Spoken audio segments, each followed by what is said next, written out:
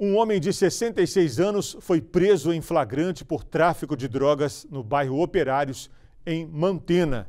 A prisão do suspeito foi feita após denúncias de que o crime estava acontecendo dentro de uma casa. Depois de busca pessoal, foram apreendidas no imóvel 16 buchas de maconha e também apreendido mais de 370 reais. O material e o idoso foram encaminhados para a Delegacia de Polícia Civil.